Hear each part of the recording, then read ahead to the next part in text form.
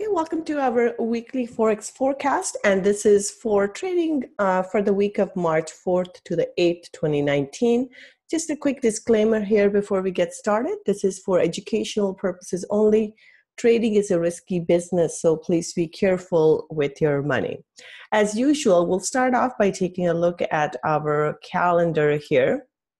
In terms of calendar, on Sunday, we have some Australian uh, data coming out, which will have an impact on Australian dollar. This is building approval, so important data here. And then on Monday, we do have a central bank here, Reserve Bank of Australia. We have the rate statement they're not um, they're not expected to raise rates here. Uh, however, we have been going through some interesting times in terms of central bankers. So if we hear, uh, so it's all about the commentary. What are they saying? What are their forecasts? So if they express any kind of concerns um, about the trade relations, or if they express concerns about the state of the economy, whether that's global economy or local economy for Australia, um, all of that can have a negative impact on Australian dollar. However, if they are positive, if they are forecasting growth for the uh, Australian economy and they are more bullish on the economy, that will have a positive impact on Australian dollar because then the market will start expecting them to to raise rates. Uh, so this is what we are looking for right now. But right now, tomorrow, not looking for them to raise rates at this point. And then on Tuesday, we have Bank of England, Governor Carney speaking. Um, and for uh, British pound or UK here, any kind of Brexit news will have an impact on the market. So last week we saw there was some positive uh, Brexit news where there were some uh, comments in regards to potentially delaying Brexit. All of that is positive for the British pound. So if we hear more of those comments, that will be good for a British pound. But if it's the other way around, then it would be negative to talk about uh, not being able to negotiate a deal and things like that. That will be negative for British pound. So keep that in mind. And then, of course, uh, Bank of England Governor Carney, his speech will be important. And RBA Governor Lowe speaking. So um, Australia here does things a little bit differently. First, they do the rate statement, and then the following day, they usually have the um, the speech here or the press conference. So as a result of that, it gets spread out over two days. So if initially there will be an impact from the statement, and then when Governor Lowe speaks, then we will see more volatility in the market or another um, another movement in the market. So just watch out for that. And we also have GDP numbers; those are important. Um, so that's for Australia as well. And then uh, this is our non-farm weeks here, uh, week here as well. So we have ADP non-farm employment change numbers for the U.S. on Wednesday. Uh, very important here, Canadian trade balance numbers. Um, so that uh, so that will be important here as well because uh, last week the numbers that came out were actually not very good so if we get negative numbers, then it will have a further negative impact on Canadian dollar. Same thing with trade balance numbers out of the US here as well. Um, if the numbers decline, especially keeping in mind that we have US China trade negotiations going on right now. So uh, that number can have a negative impact on the US dollar. And we have Bank of Canada rate statement here um, at this point, uh, Bank of Canada is just holding uh, the rate, not expected to raise rate at this time, but um, they have expressed concerns about the state of the economy. So if they are, uh, if they express concerns about the economy again, that will be negative for Canadian dollar. So that's where that's where we have to um, we have to pay attention. Um, so the question here is if the rate stays the same, is it good or bad for the currency? It's it's neutral for the currency then. If the rates stay the same, that's okay. That means nothing's really changed. That's why it's the commentary um, that will make a difference. So if the rates go up, that's positive for the currency. Interest rates go down, that's negative for the currency. When they hold hold them hold them as they are, that is neutral. So no impact from the interest rate changes then the commentary becomes more important. What is their outlook? What are they looking at? Because that will dictate future interest rate hikes. Um, and then we have retail sales numbers, so lots of data from Australia this week. retail sales numbers here on Thursday. Here uh, we have ECB. ECB had said that uh, they are likely to uh, well, the way they had phrased it last year was they are not going to uh, raise rates before summer of 2019. But I think that potential interest rate hike date of summer 19 may get pushed back as well because all the other central banks are now concerned about uh, the economic outlook. So I don't think ECB is going to raise rates even in summer of 2019. But at this point, they are not looking to raise rates. And then we have press conference. And like I said before, initial there will be an initial response to this one here and then another response to the press conference because this is when Draghi will actually give his speech and people get a chance to ask questions so um, it generally um, is a volatile period for the euro so keep that in mind so that is on thursday and then on friday we have us uh, big um, market moving data here. So first Canadian, uh, for Canada here, we have employment change numbers. Um, again, if the employment numbers drop or unemployment numbers increase, that will be negative for uh, the Canadian dollar. US here, big week for the US. FOMC, uh, sorry, FOMC, non-farm payroll and FOMC are two main events that are very important and make a big, uh, can have a big uh, you know make a big difference in the markets. So non-farm payroll numbers here. So uh, employment has been good for us over the last little while but if we see any decrease um, or the hourly earnings go down so both the numbers are important the employment numbers as well as the hourly earning numbers so if either one of those decline that can have a negative impact on the us dollar if they go up that will be positive uh, for the US. And then we have Fed Chair Powell speaking again. He has been speaking um, uh, while he was doing the testimony, and then he's been speaking quite frequently over the last little while. So I think at this point, uh, the message is clear that Fed is in no um, they're not really likely to raise rates very soon here. They're going to wait and see. That has been the message that has been coming across from the Fed. So anything um, different from that can cause a market reaction. But if that's the message, um, generally, uh, then there shouldn't be much of a change. So that's our uh, those that's the news. Let's go on to our charts now and let's see what's going on. So euro here, we'll start with euro US dollar weekly chart. And as we can see, euro has still, it's still trading in this range here. It has gone up um, towards the, more towards the middle of the range here. And then a price reacted at this support and resistance level that's coming all the way from here. Uh, and now we have this a weekly pin bar situation. So we we still have green in the candle. That means there is an up, there's a chance that a price will go higher. So in this case here, looking for price to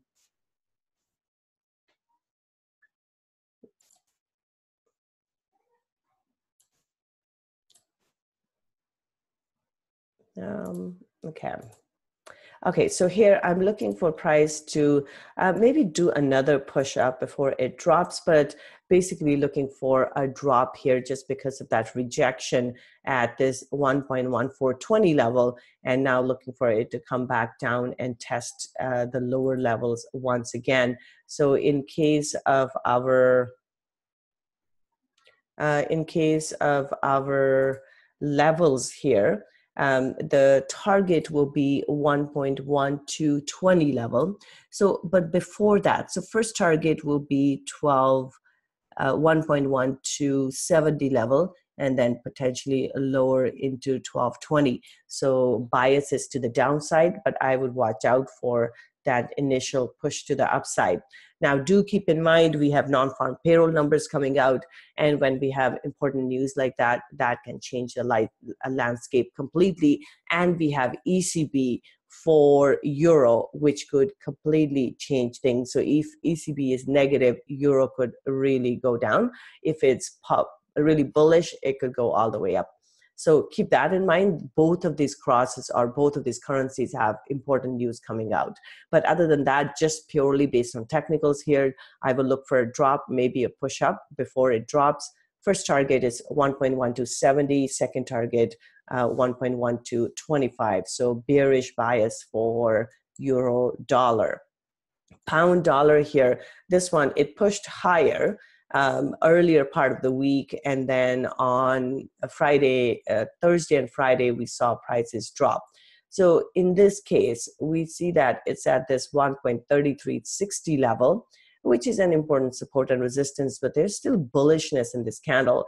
Uh, and the candle is size of the candle is the same as the size of the pin um, which gives it a bullish to neutral bias here. But overall, bias is still bullish. So we'll go with the bullish bias on this, but I would be mindful of what price does um, at the high. So if it tests the high here, so we have to see what it does then. If it stays below, I will look for it to drop further then. And um, any any Brexit news, of course, can change the path of this completely. But for now, looks like the momentum that we had for the last two weeks that is not there um, as much. So, which means that things could change. But there is still a lot of bullishness in this candle. So bias is to the upside. First target is 1.3360 which is the high of this candle and if it drops from the if it doesn't go through then I would look for it to come back down towards 1.3050 level. But should it go through, and then we are looking at 1.34 uh, 3450 and all the way into 1.3620 so it could continue going. Um, so we have two different scenarios that could play out for british pound here. Aussie dollar aussie dollar reached where we were looking for it to go um, so in this case, last week we had a neutral candle close. So the bias, um, so the candle that we have is is a doji here. So spinning top. There's no it opened and closed at exactly the same point. This week it went to test the high and then closed um, right into the bottom. So bias is bearish. That's a nice bearish candle here, and I would look for price to drop further so in this case here, uh, looking for it to, there. So in this case, next target will be 0.6920 level. So looking for price to drop further and we could get a, a bit of a pullback like we generally do um, and so this is the type of move I'm looking for. So the first target is 0.6990, second target 0.6920. Biases to the downside for Aussie dollar. New Zealand dollar here has been a little bit stronger than Aussie here, but overall we have a bearish candle close for the week as well.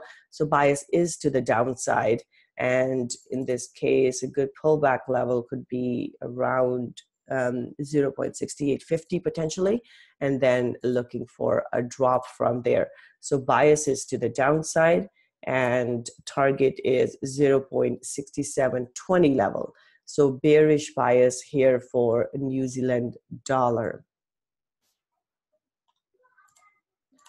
Okay, so next one um, now, since we are looking at dollar crosses here, just keep in mind towards the end of the week, uh, we're going to start um, the people, all the market will start positioning for non-farm payroll, and that could change uh, the dynamics for the U.S. dollar. So non-farm payroll could change things completely, especially on Friday. So just watch out for that.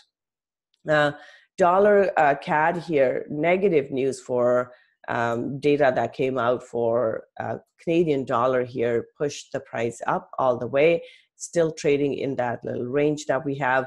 So we have a big bullish candle close, looking for it to go higher.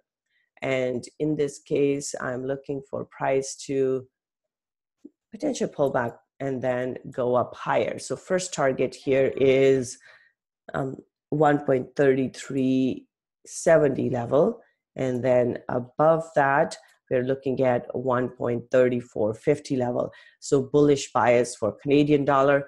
But the top here, this is a bit of a range. So if you look at it for several weeks now, price has traded in this range, which means that once price gets into the high, it could turn around. Because here we have had a nice weekly bullish candle close, and then price didn't even make it all the way and then turn around. So just keep that in mind. So um, even though we have a bullish candle close, once it gets to the high of the range, things can change and price can turn around to stay in, in the range. But for now, bias is bullish and looking for it to go first to 1.3370 level. If it goes through, then we're looking at 1.3450. Euro pound here, this one is still bearish. We saw price drop. Uh, we were looking for a drop. We saw a price drop, and now um, it went all the way into the support resistance level at 0.8520. And now we have an interesting candle where we do have a pin in the bottom but there is still bearishness in the candle here, still red candle. So what that means is that we could see things change. Now it could pull back up further into this support and resistance level. So I will look for a pullback and then a further drop. So bias is still to the downside basically, but the momentum is not um, there as we had as we saw for the previous two weeks. So these two weeks were uh, had a lot of momentum, especially with this tweezer top pattern that we had. But now we have a large pin. That means buyers are stepping in, which means the momentum is not quite there. So I would still look for a retest of the bottom here at 0.8520. If it breaks, only then uh, would I look for the lower level at 0.8450 level. So bias is to the downside still but with caution here. Euro Swiss franc, this one uh, seems to be trading in that range still from a daily here. And we see that price has, so there we are. It's sitting in this range, but it does have slightly a bearish bias here. We have a pin with um, uh, with a large wick on top. So I will look for price to drop here. 1.1300 uh, will be the first target. If it gets through here, then we're looking at 1.1260 level here, or potentially even 50 level. So bias is to the downside here for uh, Euro Swiss franc bearish bias.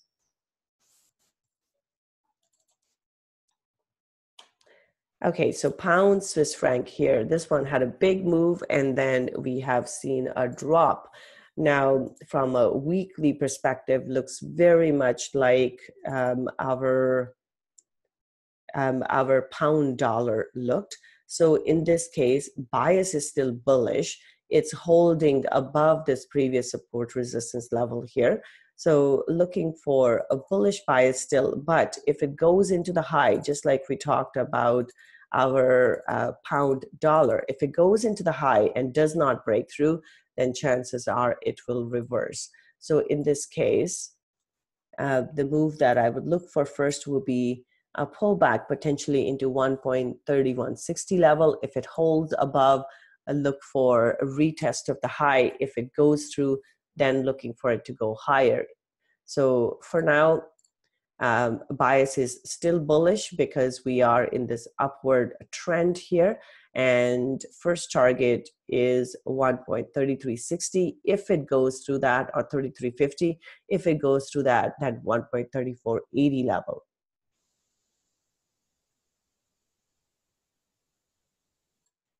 Uh, next one here we have dollar Swiss franc.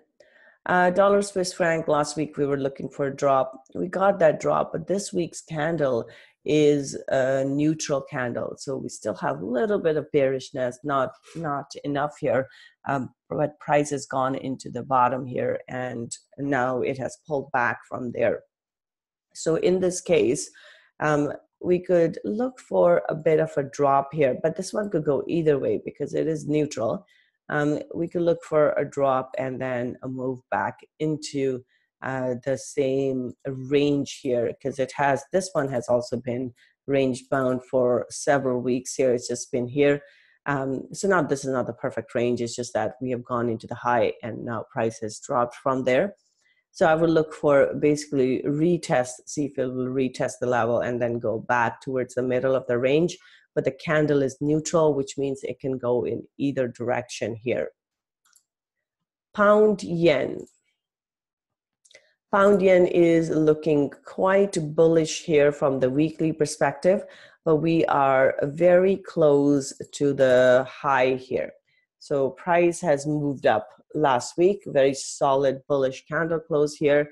And now we are close to our um, this level that price has not been able to break since April of 2018. So at this point, bias is bullish. I will look for a retest of 149.50 and um, potentially a reversal from there because it's a strong level.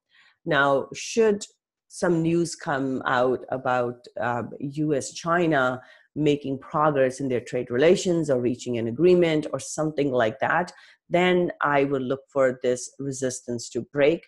Otherwise, I think it could hold and we could see a drop here. So, my first scenario that I'm looking for is price goes into the high and then moves, uh, comes back down from there, just like it did here goes into the resistance and then drops. That's my base case scenario that I'm looking for. Now, should positive news come out from uh,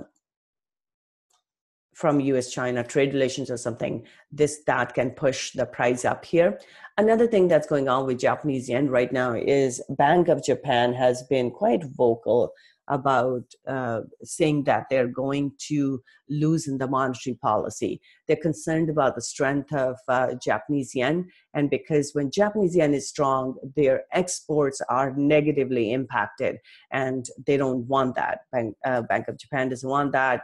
Japan doesn't want that. So as a result of that, Bank of Japan has basically come out and said that it's the first bank that we have seen that has said that we are ready to do um, easing of the monetary policy, which has a negative impact on the currency. That's why we have seen that Japanese yen has not been that strong. But if positive data comes out, positive uh, comments or news comes out about US China trade relations, that will push it up uh, as well.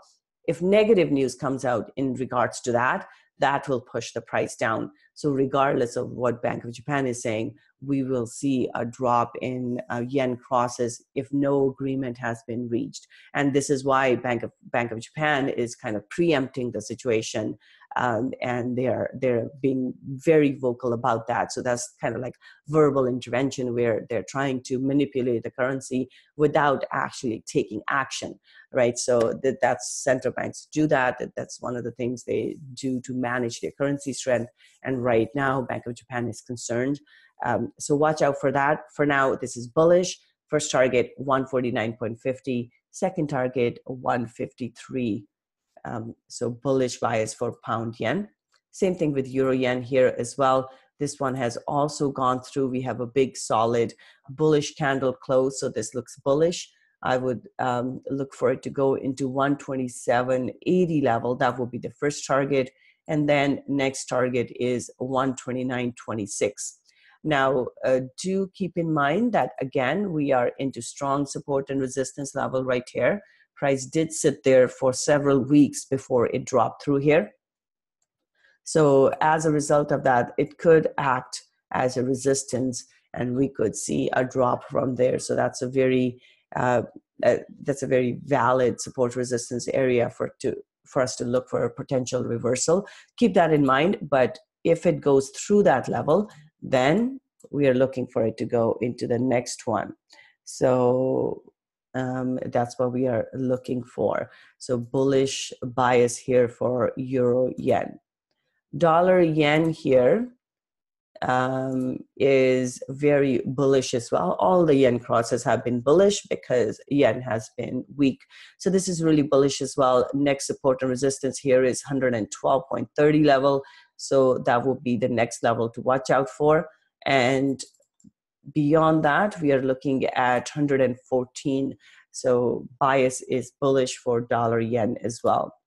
Aussie yen has kind of traded in this range here. So from a weekly perspective, we see that it's just it's still here, still in this range. So this one does not look very bullish. We could see um, a move back into the high here. And if it does not go through, then I will look for price to come back down. Now, should we get positive news with the US China trade relations, I would look for a breakout and we could get this candle filled here. But for now, the first target is 79.80 level, and we'll have to see how price reacts there. If it doesn't go through, I will look for it to come back into this range because it's still stuck in range here. New Zealand yen here, this one, um, we have a bullish, we have bullishness in this candle, but we have a large pin here. So in this case, because of the pin, we could see price drops, especially if New Zealand dollar drops, this one could drop with it as well. Um, but for now, because of the pin, I would look for price to drop from the high. But because there is small bullish, still bullishness in the candle because of the small candle body, it could go up to test the high once again. So this is a move I'm looking for. But should, like I said, should things change um, and all yen crosses go up, then this is likely to go through here as well. So bias is. Uh, so if it breaks there, then I'm looking for 77.40 level there. So for now, bias is range bound. CAD yen here. CAD yen, um, we saw a drop in CAD yen because of the negative data that come, came out the other day. But that's a, that was a big uh, candle in dollar CAD on the daily, which means there will be pullbacks and stuff. But from this one here, that's a big rejection there. And I will look for price to potentially come back down here. Bias is to the downside for this one, more so for the other commodity currency crosses here. So this is what I'm looking for. But like I said, should positive news come out, this one can go higher as well. But for now, bias is to the downside. 83.20 is the target here. All right, so let's go into our commodities. Let's see what gold is doing. Huge drop here on the daily in gold. So for weekly, we are looking bearish. Last week, the bias was to the downside. And this week, again, the bias is to the downside here. So in this case, the move that we can look for would be something like this. So that's what I'm looking for. Biases to the downside. Uh, target is 1277 and if it goes through that, then 1261. But overall bias is to the downside at the moment. Oil here. Um, oil still trading in this range that we have seen for the last little while. Um, we saw a drop in oil. And so that was the double whammy for uh, Canadian dollar. Oil dropped as well as we saw negative um, news came come out. So overall bias was negative. Um, now this one we have a bearish engulfing candle close here, railroad reversal pattern. So looking for it to drop further. So in this case, um, target is 53.60 level. That's the first target, and it can go below that here into the bottom here, 51.40 uh, level. So bearish bias for oil copper here is kind of stuck in this range all week as well. So we have a bearish candle close for the week. So looking for price to drop further. Target is 2.84. So back into this support resistance level, this range that price had traded for that for so long. So we are looking uh, for price to come back into the top of that range um, and then we'll see what it does. But for now, biases to the downside. 2.84 is the target there. All right, so next one, we'll take a look at uh, silver. Okay, silver, a huge drop in silver here. From a weekly, we have gone, last time we were looking for a drop and we do have that. Next, we are looking for further drop here. So in this case, um, looking for a pullback and then a drop. So 14.89 will be the target here. Bias is to the downside for silver. And that's why the commodity currencies have been dropping because commodities have been dropping. Uh, Bitcoin here, I do not have the most current uh, data, of course, because the platform is not open at my end all week. Uh, for now, though, it's holding above the support resistance at 37.15. If it holds above, it can go higher. But if it starts to, if it goes through that, then we're looking for it to come back into 33.20 level. So we have to wait and see. Um, it was holding above, didn't really go go higher, and now it's just sitting into resistance. A lot of times when price sits into resistance, it can drop as well. So watch out for 37.15. That's the level, and we'll see how that one reacts there. Okay, next one. Let's take a look at our indices, and then we'll wrap it up.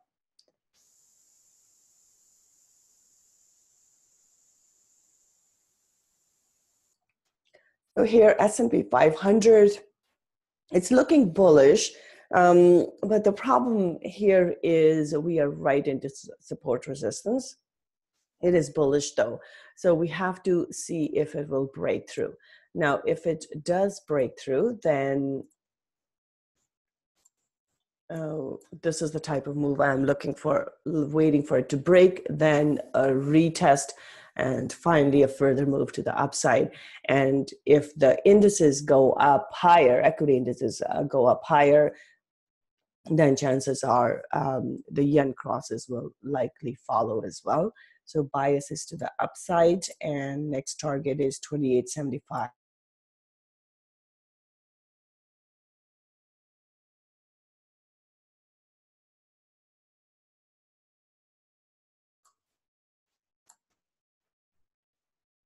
Okay, so next one here. Sorry, I'm a little under the weather and my voice is just giving out on me. Sorry, one second.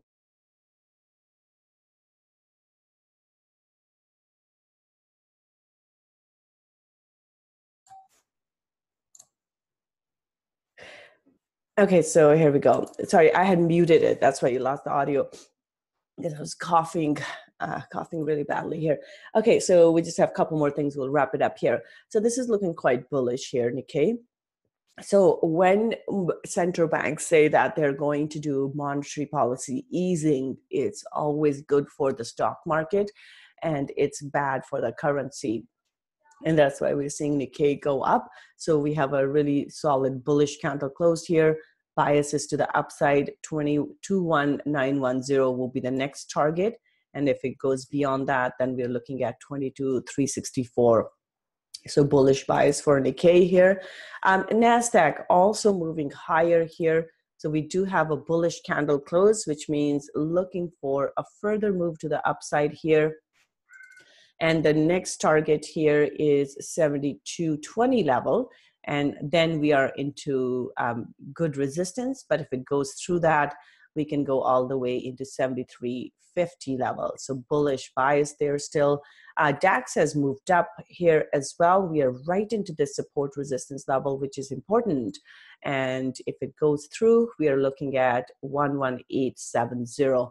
So all the um, equity indices right now are looking bullish, except maybe for um, FTSE here. This one does have some weakness, but we see rejection here so with this let's see um, so it's kind of right here. If it goes through this support resistance level i would look for it to for it to go into the high here or towards the high 7250 so bias uh, for this one i think this one could go higher as well especially as the other ones uh, go up higher.